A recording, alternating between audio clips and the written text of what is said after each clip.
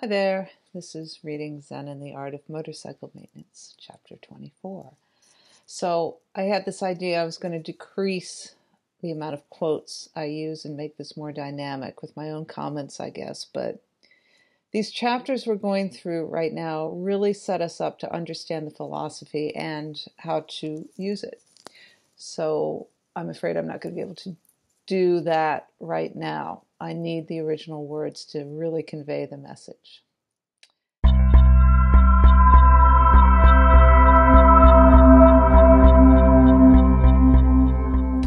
The sun is up. For a while, I'm not sure where I am. We're on a road in a forest somewhere. Bad dream. That glass door again. The chrome of the cycle gleams beside me. And then I see the pines, and then Idaho comes to mind the door and the shadowy figure beside it were just imaginary. Okay, so that's interesting. So he's thinking about the dream that he just had, and he's, he's saying, Oh, now I realize they're imaginary. So that's interesting um, thing for him to say. Let's just think about that. Why, why imaginary? And his attitude this morning is very positive after this terrible dream. He seems to be uplifted greatly by the realization, by this realization that it's just imaginary. And so he's happy to be back in Idaho, about to head down. We're on a logging road. That's that's right. Bright day, sparkling air. Wow, it's beautiful. We're headed for the ocean. And look at this entry sign for Idaho. This is where uh, Pacific time begins. So, what is this? Is this Pacific time? Let's think about this. Has this been determined with the analytical knife? Or is this something that has evolved? So, that's interesting when you're thinking about some of these philosophical concepts that we're looking at. Which one is it? Or are they the same thing? So, remember, when what the narrator says in chapter 22 he says all traces of the east are gone now at least in my imagination. All the rain here comes from pacific winds and all the rivers and streams here return to the pacific. So there's a felt sense you know there's an actual um, feeling of the environment that things have changed I remember the dream again and the words, I'll see you at the bottom of the ocean, and wonder about them, but the pines and sunlight are stronger than any dream, and the wondering goes away. Good old reality, he says. So he starts jogging up the logging road to keep warm. And like a soldier, he chants. And what does he chant? He chants, Good, good, good, good, good. Everything he perceives in this lens that, uh, that, that emerged when the dream dispelled or when the dream was labeled as imaginary is good. Long Chautauqua today, one that I've been looking forward to during the whole trip. And I've been looking forward to this too because he's really going to start giving us a peek now into how quality works in, in day-to-day life. And he's also going to give us one of the best metaphors for the whole process, uh, which is the train metaphor, which is coming up. I talked about caring the first day and then realized I couldn't say anything meaningful about caring until its inverse side, quality, is understood. I think it's important now to tie care to quality by pointing out that care and quality are internal and external aspects of the same thing. A person who sees quality and feels it as he works is a person who cares. A person who cares about what he sees and does is a person who's bound to have some characteristics of quality. So caring. It's a, it's a very big part of understanding what he's trying to tell us about how this whole thing works. And remember what I've been saying about um, that Pirsig's philosophy could be really useful right now when the um, exponential advance of technology and let's just say the looming specter of autonomous AI need to be faced and dealt with so it benefits humanity because we could certainly imagine how it would do the opposite. So we're going to have to, you know, and I, people are doing this, but this needs to start being explored in a whole new philosophical system. I think is what we're looking at kind of needs to be embraced in order to look at this um, potential for technology in a way that is dynamic because it's going to have to it's going to have to manage a whole lot of things. And so, is it even reasonable at this point to try to break down things into subjects and objects? And we've already seen with the frame problem that AI can't even do that, at least not at this point. And do we want it to do that, or do we want it to be a dynamic system where things go in and that are processed in a beneficial way? So I know that sounds a little vague. I'm working it out myself. the problem of technological hopelessness, says Pirsig, is, is lack of care and um, the lack of being able to perceive quality in technology, being unaware that the Buddha is in the gears. And I think that's kind of what I'm trying to say about we have to look at technology differently. Phaedrus's mad pursuit of the rational, analytic, and therefore technological meaning of the word quality was really a pursuit of the answer to the whole problem of technological hopelessness. So it seems to me, anyway. So he's had to give us a lot of background to get us to this point. He's kind of had to talk us through, let's just say, uh, uh, the, the in a, in a way through philosophical history, the history of philosophy. The um, and and now we're getting to a point where, where quality actually applies. So the Chautauquas up to now have been getting us up to this point philosophically, going back to the classic romantic, technological, humanist um, split using John and Sylvia as opposed to someone who likes to maintain their motorcycle, the whole hip and square thing. And then back to the meaning of what is quality. And, and we figured this out with the classroom exercise, figuring it out that everyone could tell what it is. And back there to formal reason uh, to understand classic quality, and then back to the metaphysics of underlying formal reason, and then up to the mountain into the metaphysics that puts quality at the center of reality. And you remember those those diagrams, and then down from that to Poincaré and science. You know, science performed with quality, using value rather than uh, objectiveness to determine the best course of action. And now we're going down to technology. I do believe that at last we are where I wanted to be in the first place.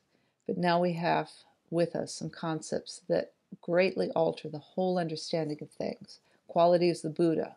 Quality is, is scientific reality. Quality is the goal of art. It remains to work these concepts into practical, down to earth context. And for this, there is nothing more practical or down to earth than what I've been talking about all along the repair of an old motorcycle. So we're starting to see that this whole motorcycle repair thing is going to show us how to implement quality in our own lives, which is a great thing. So, um, so Lee gave me some more photos. You know, he did the whole route, so he took photos along the way um, from the year that he went, and uh, which was in the early 2000s. And um, right now we're on the Lochsa River. We just entered uh, Idaho, as, as as we know. The cycle hums through the cold air and the mountain pines, and we pass a small sign that says, A breakfast place is a mile ahead. Are you hungry? I shout. Yes, Chris shouts back. Soon a second sign saying cabins with an arrow under it points off to the left. We slow down and follow a dirt road until it reaches some varnished log cabins under some trees. So, this is what he's talking about, thanks to Lee um, Glover uh, who, who, informed me that this is the Lochsa Lodge. And this is where they have that big hot cakes breakfast. So the Lochsa Lodge burnt down in um, in 2003, and so this is a, a, rebuild of it. So in the restaurant, Chris decides decides he wants to write to his mother, and he can't think of what to say. So the narrator thinks to himself he should suggest that Chris write about one side of a coin for an hour. But Chris seriously wants help. This is really useful. Okay, I say. I tell him getting stuck is the commonest trouble of all. Usually, I say, your mind gets stuck when you're trying to do too many things at once, multitasking. What you have to do is try not to force words to come out. That just gets you more stuck. What you have to do now is separate out the things and do them one at a time. You're trying to think of what to say and what to say first at the same time, and that's too hard separate them out. Just make a list of all the things you want to say in any old order, and then later we'll figure out the right order. So this is interesting. This is, first of all, it's a great piece of advice for just about anything that you have to work out. Uh, certainly excellent advice for writing. And it's interesting because this is how Pirsig himself wrote, and this will be expanded on a lot later in Lila, but he used four by six sheets of paper, note paper, and on each one he'd put a discrete idea or passage or quote you know, from his research. And so then the ideas could be shuffled around until they made sense, until they, you know, the order kind of emerged, like in Poincaré, what is the right order? You're looking for the right order, and it emerges from all these slips of paper. And as a writing method, it makes a lot of sense. It's dynamic, it works, and Chris ends up using his advice um, with tons of stuff to tell her. I'll never get all this in one letter, he says. He sees me laugh. he sees me laugh and frowns. I say, just pick out the best things. Poincaré. And then we head outside and onto the motorcycle again. And also pick out the best things, you know, let quality decide. So in the Chautauqua, the narrator segues from Chris being stuck about what to say to stuckness in general. And notice before we get into this that Chris started by being stuck, but ended with so much stuff that he was afraid it wouldn't fit into the letter. So we're going to start this off, uh, the Chautauqua off by talking about rationality. And classic rationality was outlined into uh, by showing us how to determine the chain of cause and effect with inductive and deductive reasoning um, using the motorcycle, of course. And he outlined how classic rationality would break down the cycle into parts and into functions. And you remember those long lists um, in an earlier chapter. So uh, as we leave the high country and head for the ocean, we go into the practical applications of what a metaphysics that he sees as reality, that sees reality as quality rather than subjects and objects, plays out in everyday life. Stuckness, that's what I want to talk about today. Back on our trip out of Miles City, you remember I talked about how formal scientific method could be applied to the repair of a motorcycle through the study of chains of cause and effect and the application of experimental, uh, experimental method to determine these chains. Uh, the purpose was then to show what is meant by classic rationality. I now want to show that that classic pattern of rationality can be tremendously improved and expanded and made far more effective through the formal recognition of quality in its operation. Before doing this, however, I should go over some of the negative aspects of traditional maintenance to show just where the problems are. The first is stuckness, a mental stuckness that, accom- that accompanies the physical stuckness of whatever you're working on. That's the same thing Chris was suffering from. So, this kind of stuckness, this mental stuckness, he's going to illustrate with something that happens in motorcycle maintenance. And this is a screw that won't get loose, so you end up you end up um, trying to follow the manual, and the manual says um, remove side cover plate. But you don't really know what you're doing, you know, so you end up stripping the screw, tearing the screw slots, it won't turn. Your mind was already thinking ahead to what you would do when the cover plate was off, so it takes a little time to realize that this irritating minor annoyance of a torn screw slot isn't just irritating and minor. You're stuck, stopped, terminated, it's absolutely stopped you from fixing the motorcycle because you can't get in there. And then comes something we've all experienced. It's normal at this point for the fear anger syndrome to take over and make you want to hammer on that side plate with a chisel to pound it off with a sledge if necessary. So you need a hypothesis for how to get the screw out, and neither scientific method nor the manual is going to help you with that. This is sort of a, a thing in itself, you know, a thing that's just kind of arisen that there that is spontaneous and, and an accident, and um, neither of these have the capacity to tell you how to proceed with an anomaly, which is what this is. They just tell you stuff based on past experience. Um, or stuff based on um, the assembly and the deassembly of components being uh, without anomaly. The whole problem is we think we're supposed to be looking at problems like this objectively, and that's what formal reason tells us to do. We're stuck on that screw, and the only way it's going to get unstuck is by abandoning further examination of the screw according to traditional scientific method. That won't work. What we have to do is examine traditional scientific method in the light of that stuck screw. We have been looking at that screw objectively, according to the doctrine of objectivity, which is integral with traditional scientific method. When we stop and think about it disinterestedly in terms of this stuck screw, we begin to see that this whole idea of disinterested observation is silly. Where are those facts? What are we going to observe disinterestedly? The torn slot? The immovable side cover plate? The color of the mm-hmm. paint job? The speedometer? The sissy bar? Okay, I included that partially because I, wanna, I wanted to include the term sissy bar. And I looked that up. A sissy bar is that small backrest on the back of a motorcycle that a real man would not need. So you can't look objectively at every possibility. That is combinatorially explosive. Poincaré said that. You have to look for facts that you need, but how do you know what facts you need? As Poincaré pointed out, there must be a subliminal choice of what facts we observe. The, different, the difference between a good mechanic and a bad one, like the difference between a good mathematician and a bad one, is precisely this ability to select the good facts from the bad ones on the basis of quality. He has to care. And I think that will be found, and I think it will be found that a formal acknowledgement of the role of quality in the scientific process doesn't destroy the empirical vision at all. It expands it, strengthens it, and brings it far closer to actual scientific practice. Uh, so, actual scientific practice meaning you trying to use uh, classical reason to actually improve things. So objectivity states that the mechanic and the motorcycle will always be separate. There'll always be a subject and an object, and the involvement must be impartial. You can't care or get caught up in it. You have to repair this machine with pure logic because that's the best way right? This eternally dualistic subject object way of approaching the motorcycle sounds right to us because we're used to it. It's a ghost. But it's not right. It's always been an artificial interpretation superimposed on reality. It's never been reality itself. When this duality is completely accepted, a certain non divided relationship between the mechanic and the motorcycle, a craftsman like feeling for the work is destroyed. So by turning, returning to caring, and and looking and choosing what's best according to quality. That's the return of craftsmanship. That's actually definition of craftsmanship.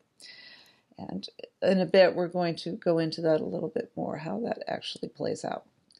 But now comes that analogy that I find so useful for understanding this this um, this philosophy, and that's the train analogy. In my mind now is an image of a huge, long railroad train, one of those 120 boxcar jobs that cross the prairies all the time with lumber and vegetables going east and with automobiles and other manufactured goods going west. I want to call this railroad train knowledge and subdivide it into two parts classic knowledge and romantic knowledge. So, classic knowledge is what you learn at school, what you learn in the Church of Reason. It's and that in, that comprises the engine and the box cars. So, so you know, all that knowledge is in boxcars. And um, and the engine is the potential to, you know, is, is leading all these boxcars. Obviously, the older you get, the more boxcars you're going to have, the more categories of knowledge, let's just say. And you don't see romantic knowledge because how can you see it? It's, it's not a uh, material thing um, you can see this train as static. You've got the engine box cars, and you can say this is, you know, we're going to analyze it, and here it is. Or you can see it as dynamic, that is, engine and box cars that actually move. And really, when you look at it, it is two different ways of looking at reality. Romantic quality, in terms of this analogy, isn't any part of the train. It's the leading edge of the engine, a two dimensional, listen to that two dimensional surface of no real significance unless you understand that the train isn't a static entity at all. So, in one, um, sorry, in one vision of the world, things like quality don't exist, and another one, they are existence itself, they are reality itself. This two dimensional surface of no real significance unless you understand that the train isn't a static entity at all. The train really isn't a train unless it if it can't go anywhere. In the process of examining the train and subdividing it into parts, we've inadvertently stopped it. So it really isn't a train we're examining. That's why we get stuck. The train is always going somewhere, and it's always going somewhere on a track, and the track is called quality in, in um, in this analogy. And it's only romantic quality that keeps us on that track. So romantic reality is the cutting edge of experience. It's the leading edge of the train of knowledge that keeps the whole train on track. Traditional knowledge is only the collective memory of, of where that leading edge has been, like the manual. So I think one thing that's going to come up here is, is what are you talking about? Trains aren't always on the track of quality, are they? I mean, they get derailed. And this is, I'm going to say as I as I discuss this chapter, I, I, told you I'm not an expert on this, so this is a confusing point for me because saying the track is always on the track of quality, even if the quality isn't quality at all. You know, sometimes a train uh, isn't following the track of quality. Sometimes we, we get misled. Or or is this? Or is he talking about the ideal? Or is he talking about when the train is moving, that the train should be on the track of quality? He says that the train of quality, of quality only moves with quality. So I guess what he's saying is that if the train does not move, things don't transform, and maybe the train is not, you know, when the train is not moving, quality isn't involved, and it's only when the train is moving. So stuckness would not be moving. And um, he says if you don't have quality, you just have confusion. So I guess stuckness and confusion are the two ways that keep the train from moving. But the train would move in, in the in the in, in confusion. In stuckness, it might pick something. In stuckness and confusion, it might pick a track that is off the track of quality just to get to where it wants to go, just because it wants, you know, this discomfort to be over with. Um, so I guess that anything that comes from trying to avoid or or overcome stuckness and confusion by just you know getting you know by just barreling through it isn't quality. And I think both of these might happen. If you use reason only because you think you're supposed to because you've con- been conditioned that the only way to solve this problem is with reason and in fact reason won't work in in many situations there are not and also another thing he says is there aren't subjects and objects at the leading edge. The only way to know where to go is to be attuned to quality, to, to be attuned to what's good. The cutting edge of this instant, right here and now, is always nothing less than the totality that, of everything there is. And I think that's very, very profound and important statement. Value, the leading edge of reality, is no longer an irrelevant offshoot of structure. Value is the predecessor of structure. It's the pre intellectual awareness that gives rise to it. Our structured reality is pre selected on the basis of value, and really to understand structured reality requires an understanding of the value source from which it's derived. So, value is the leading edge of reality, and that valuing, that caring, if you like, that that that creates reality. It tells us how to proceed. Now, I love this paragraph because it's a great illustration of how, you know, attunement to quality in practice. One's rational understanding of a motorcycle is therefore modified from minute to minute as one works on it and sees that a new and different rational understanding has more quality. One doesn't cling to old sticky ideas because one has an immediate rational basis for rejecting them. Reality isn't static anymore. It's not a set of ideas you have to either fight or resign yourself to. It's made up in part of ideas that are expected to grow as you grow and as we all grow, century after century, with quality as a central, undefined term. Reality is, in its essential nature, not static, but dynamic. When you really understand dynamic reality, you never get stuck. It has forms, but the forms are capable of change. So there you have one of the clearest statements of how this actually implements in life. It's a minute to minute update, free from stuckness by preconceived notions. Imagine applying that to every aspect of your life. It sounds like the, it sounds like the goal of most spiritual practices. And now after he tells us we all want it what else do we all want? We want enlightenment. So is this is this understanding of quality? Is this nirvana? Is this enlightenment? This ability attuned to quality? And I think that's a good question. And I think that deserves a little bit more thought in the future.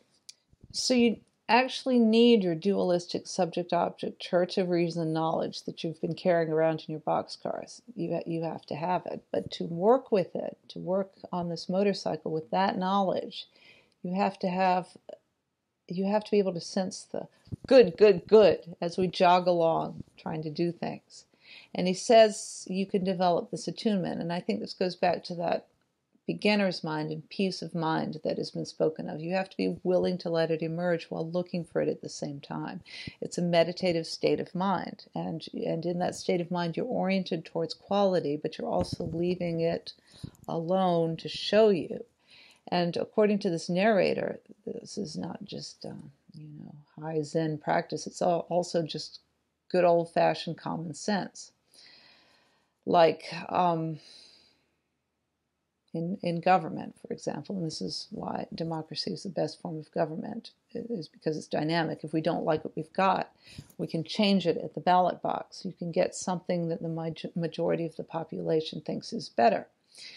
It all sounds far out and esoteric when put like that, and it comes as a shock to discover that it is one of the most homespun, down to earth views of reality you can have.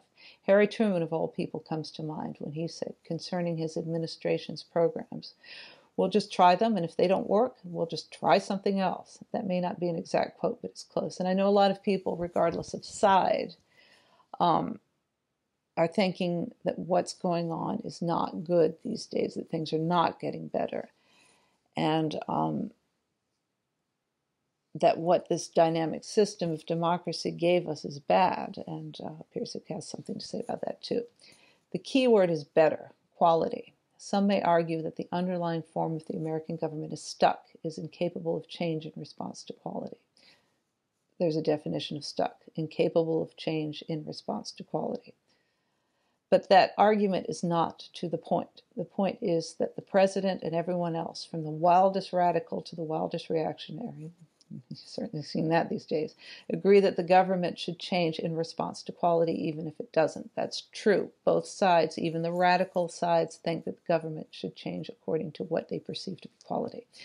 Phaedrus' concept of changing quality as reality, a reality so omnipotent that whole governments must change to keep up with it, is something that, in a wordless way, we have always unanimously believed all along. So that must have be what um, he meant by having quality at the sin of reality tames the system. I think, I can't remember what chapter that is, I think it's 21.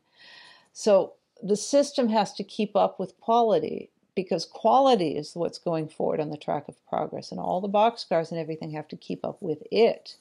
And what Harry Truman's attitude is, is pragmatic. And there's a lot of overlap between pragmatism and Pirsig's philosophy. Um, pragmatism is one, in fact, uh, uh, uh, Henry William James pragmatism is one of Pirsig's main influences. And in Lila, the character Phaedrus is reading James's biog- biography. So pragmatism is something we're hearing a lot about lately, you know, Jordan Peterson, uh, for one, because it is the reality, um, the truth, let's say, of the dynamic way we're going to have to start looking at things. You know, pragmatism, I think, is a good parallel for this, uh, or a good way, uh, a good way of understanding what we're going to be terming as game B. But the point Pirsig is making is that this way, this is the way we've always looked at things. It's more in keeping with our nature. And he's pointed out again and again the scientific worldview, uh, because it's so powerful, ended up being pasted on. Let's consider reevaluation of the situation in which we assume that the stuckness now occurring, the zero of consciousness, isn't the worst of all possible situations, but the best possible situation you can be in. After all, it's exactly the stuckness that the Zen Buddhists go to so much trouble to induce through koans deep breathing, sitting still, and the like. Your mind is empty. You have a hollow, flexible attitude of beginner's mind. You're right at the front end of the train of knowledge, at the track of reality itself. Consider for a change that this is a moment not to be feared but cultivated. If your mind is truly profound and profoundly stuck, you may be much better off than when it was loaded with ideas. So that's a very interesting point. If you're talking about practices, say you embrace this philosophy as game B or what you want to do in life. So this is giving you an insight right into what you could do to cultivate this this quality mindset. It's this um, you know, it's practicing Zen meditation. That's what Pirsig did, but some practice of that nature to get you in touch with that hollow, flexible attitude of beginner's mind. So he's saying stuckness is actually great. It doesn't seem that way, though. It just seems frustrating and dull, you know, that dull feeling. Um, think about that dullness when you're not motivated to do something. It's kind of this gray, depressive feeling we like to be on on the tra- on track all the time. We like to avoid stuckness, but we should embrace it. He says, eventually, in stuckness, quality will emerge. And if you push against stuckness, the thing you are liable to do is not have much quality. Like I was talking before about my confusion about being on the track. So um, if you're pushing against stuckness, or or not, you, you what you're going to do, the decision you make to do is is going to be counter stuckness rather than going through stuckness, and it's not going to have much quality. It might be a suboptimal solution or a band aid, let's just say. So you can't let, and this is going to come up in chapter 26, but I just want to say you can't let your anxiety and frustration, or as he said, fear, anger, get the best of you. Stuckness shouldn't be avoided. It's the psychic predecessor of all real understanding. An egoless acceptance, egoless acceptance of stuckness is a key to an understanding of all quality in mechanical work as well as other endeavors. It is it's this understanding of quality is revealed by stuckness, which so often makes self-taught mechanics so superior to institute trained men who have learned how to handle everything except a new situation, torn screw. And in this situation, um, a new situation, the novelty, the anomaly, your whole value system gets turned on its head. And the least valuable component of the motorcycle, which is the screw, suddenly holds the entire value of its motorcycle in that little piece of metal. So you need to be able to have a moment to moment flexible system of knowledge that allows you to take into account what is actually going on. With the expansion of the knowledge, I would guess, would come a reevaluation of what the screw really is. If you concentrate on it, think about it, stay stuck on it for a long enough time, I would guess that in time you will come to see that the screw is less and less of an object typical of a class and more an object unique in itself. Your stuckness, important line, your stuckness is gradually eliminating patterns of traditional reason. So, what he says is it doesn't matter what your solution is let's just say this torn screw situation, as long as it has quality. There are many ways to solve this problem. And there are usually many ways to solve a problem, just as there are many, many hypotheses. So you determine which ways to solve the problem have quality and you act on those. Um, throwing the cycle off the cliff or giving up, these are low quality. And in fact, even taking the cycle to a mechanic to do the job would be a low quality solution if you're trying to learn. That would be just avoid this whole thing. So your stuckness, um, so in your stuckness, quality hypotheses of solutions will eventually emerge. And in your stuckness, the problem isn't a matter of accessing past experiences in your boxcars as much as it's right out in front of you in the cutting edge. It's it's romantic quality that will help you here. And then you can integrate you know, the knowledge you have. There's no predicting what's on the quality track. The solutions are all simple after you've arrived at them, but they're simple only when you know what they already are. That's good. So they so now back to the um, the journey. So they drive down Highway 13 beside the river, noting that the old technological buildings they drive by have more quality uh, than the new ones, and they have a quality from age. Neat, squared, upright lines acquire a random sag, the uniform masses of the unbroken color of fresh paint, modified to a mottled, weathered softness. Nature has a non Euclidean geometry of her own that seems to soften the deliberate objectivity of these buildings. this is so great. With a kind of random spontaneity that architects could do well to study. Well, some um, think of the Korean Wall. So there are two ways to look at this non Euclidean geometry. Um, there's probably more, but I, I'm what comes to mind for me, especially since we're looking at an integration of East and West in, in this book, is the Eastern way. There's there's something called Li, and that is the natural gesture of nature. You'll see it in leaves, and you'll see it in branches, and you'll see it in um, in the craquelure on the paint of buildings. And then in science, in, in a Western way, let's just say, um, this is kind of being demonstrated in in non-dynamical systems theory, which is why I think, which is one of the many reasons I think that non-dynamical systems is a good um, is a good scientific theory for game B. And so here's a picture of, um, of bifurcation and look what it looks like, and it's also uh, fractal.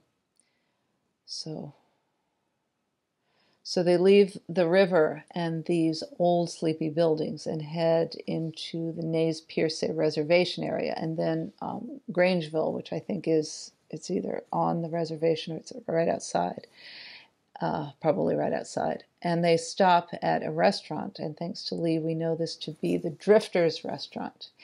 And here's some pictures of what it looks like now. At the top of the plateau at Grangeville, Idaho, we step from the blasting heat into an air conditioned restaurant, deep cool inside. While we wait for chocolate malteds, I notice a high schooler sitting at the counter exchanging looks with the girl next to him. She's gorgeous, and I'm not the only one who notices it. The girl behind the counter waiting on them is also watching with anger. She thinks no one else sees. Some kind of triangle. We keep passing unseen through these little moments in other people's lives. Yes, that's the joy of road trips. You certainly do see into these little moments. And back then, there were no cell phones to distract you from these these little pleasurable peeks into other people's reality. And um, let's just kind of reflect on that because that's quality of the real thing versus these curated peaks that we see on social media. What a big difference. So apparently, um, there's a canyon road between Grangeville and their next stop in White Bird, which uh, I'm not quite sure what state that is, but we'll find out. Sorry, I should be more prepared. We'll find out in the next next chapter. Um, so, so this is this is 95, and it's full of twists and turns going down the canyon. And here's a picture. By the time our cycle has reached the bottom of wherever it is we are, we have dropped thousands of feet. I look back over my shoulder and see ant like cars way back at the top. Now we must head forward across this baking desert to wherever the road leads. So I hope that made sense, and I will see you next week, next Sunday, for chapter 25.